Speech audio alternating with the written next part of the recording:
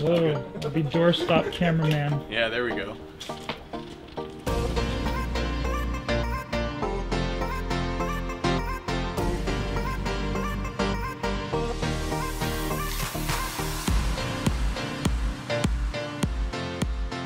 Here at Quantum Capture today to record all of our motion capture data for the short film that we're going to be releasing at the beginning of our Kickstarter campaign. And you know, if there's a little bit of extra time at the end of the day, we can get some animations for the game.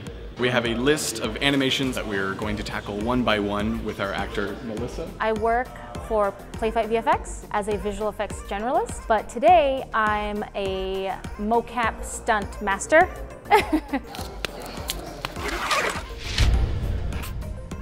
So we're using a Vicon system Blade, which connects to the cameras here and it tracks using the markers. As long as three cameras pick up the trackers on her, then we'll get the motion. So T-pose is a standard pose in animation that allows us to um, not only see um, the bones quite easily in terms of uh, you know laying out all the arms, the chest, the legs. Uh, it also um, marks the beginning and the end of the take. Definitely really cool to be like on this side of the process. We work a lot in post. This is more pre. I've always had an interest in pre-production and um, just acting in general or being on set. Anything more physical, I'm having a good time. I'm having a good time, yeah. to go and have to animate minutes of footage for multiple characters is just it's going to take way too long. It's going to take too many resources. Um, so this is definitely the uh, the best uh, route to take. But we, we want something specific, but also you know in, in line with the you know the narrative of, of the character. The biggest challenges are uh, are making sure that we, we keep running on track and get all the motion we need and I ordered the skinny size, but I don't think they got it.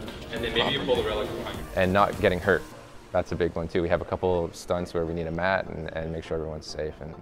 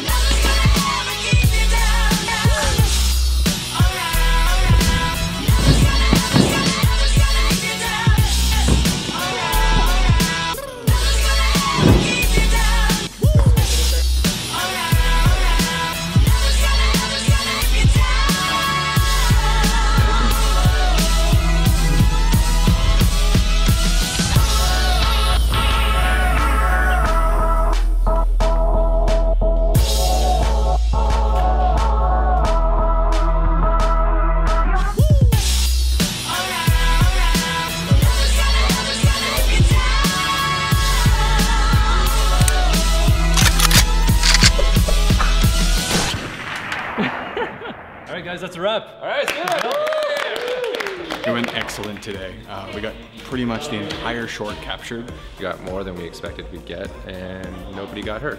So next steps from here, um, all the files get cleaned up. They'll be applied to the rigs. Uh, we're just finishing up the models as well. Uh, we have the game models already, but the, the higher res models for the trailer are still coming along. Just a lot of good work, mocap work, animation work. These guys are really solid. Uh, really excited to work with them again. Excellent people, great working with them. We're actually really well equipped to have that trailer ready very soon.